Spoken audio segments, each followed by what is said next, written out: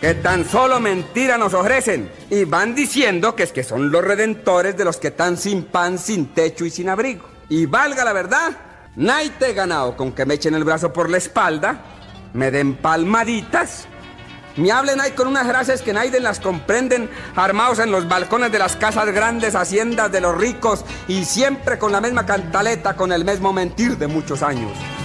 Ese es un fragmento del poema llamado Los Políticos, escrito por el hoy fallecido poeta costumbrista El Indio Rómulo, que perdió la batalla contra problemas respiratorios en la Clínica Colombia en Bogotá, derivados del coronavirus. El boyacense, reconocido por su crítica certera de forma artística a los problemas de Colombia y a la cotidianidad, fue el más importante en su género desde que inició en su natal Monguí, Boyacá. Onta, doctores, el pan que mi chinito lloran. Si ustedes se hartan los impuestos y a todos nos hacen la mamola.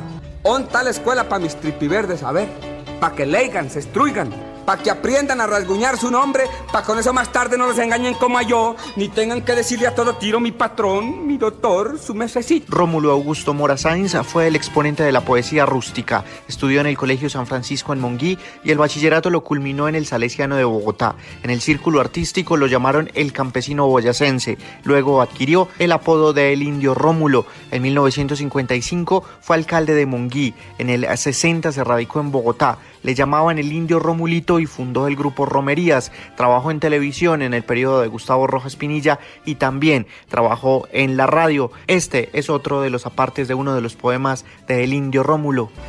A ver, doctores, ¿onta la justicia? Danainas fuera para joderlo a uno, ahí sí. Si alego a mi patrón por mis derechos, pa' la calle en la inopia voy derecho.